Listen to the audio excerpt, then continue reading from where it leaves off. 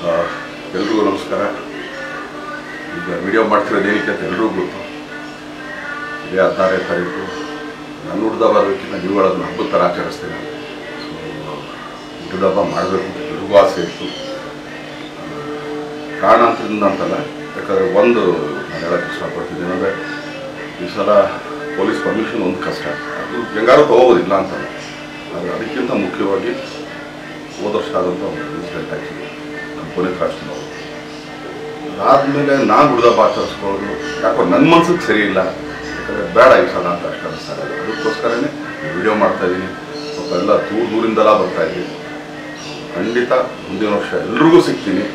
ಯಾಕಂದರೆ ಯಾಕಂದ್ರೆ ನಮಗೆ ನನಗೇನು ಅನ್ನಿಸ್ತಲ್ಲ ಗುರು, ಯಾಕೆ ಸುಮ್ಮನೆ ಅಂತ ಸೊ ಆದ್ದರಿಂದ ಎಲ್ಲ ನನ್ನ ಅಂದಾತರು ಹಾಗೆ ಕನ್ನಡ ಚಿತ್ರಪ್ರೇಮಿಗಳು ಕನ್ನಡ ಕಲಾವಿದರು ಎಲ್ರಿಗೂ ಇಲ್ಲಿಂದಲೇ ನಮಸ್ಕಾರ ಸೊ ಈ ಸಲ ಬಿಟ್ಟಿನ ನಾನು ಊರಲ್ಲಿರಲ್ಲ ಸೊ ದಯಮಾಡಿ ನೀವು ಅಲ್ಲಿಂದ ಬಂದು ಸುಮ್ಮನೆ ಮನೆ ಹತ್ರ ಇದು ಮಾಡ್ಕೋಬೇಡ್ರಿ ಒಂದು ಸಲ ಎಕ್ಸ್ಕ್ಯೂಸ್ ಅಂತ ಕೊಟ್ರಿ.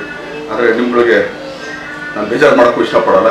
ಯಾಕಂದರೆ ಇದೇ ಹದಿನೆಂಟನೇ ತಾರೀಕು.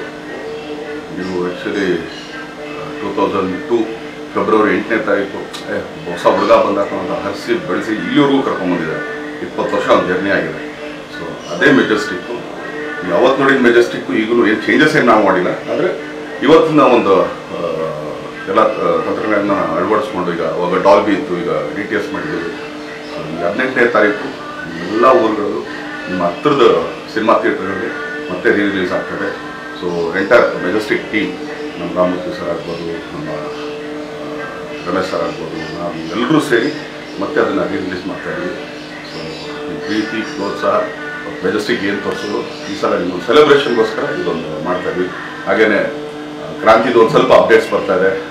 ಅದನ್ನು ಕೂಡ ಈಗ ಫೆಬ್ರವರಿ ನಿಮಗೆ ಹದಿನಾರನೇ ತಾರೀಕು ಕೊಡ್ತೀನಿ. ಸೊ ಅದೊಂದು ಆಮೇಲಿಂದ.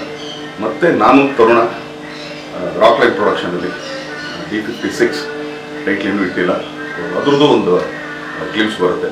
ಸೊ ಇದನ್ನೇ ಆ್ಯಕ್ಚುಲಿ ನನ್ನ ಕಡೆಯಿಂದ ಒಂದು ಸಣ್ಣ ನಿಮ್ಗಳಿಗೆ ಗಿಫ್ಟ್ ಅಂತ ಅಂದ್ಕೊಳ್ತೀನಿ ದಯಮಾಡಿ ಮುಂದಿನ ಸಲ ಖಂಡಿತ ಸೇರೋಣ. ಮನಸ್ಸಿಗೆ ಯಾರು ಬೇಜಾರು ಮಾಡ್ಕೋಬೇಡಿ. ದಯವಿಟ್ಟು ನನಗೆ ಕ್ಷಮಿಸೋಣ ಥ್ಯಾಂಕ್ ಯು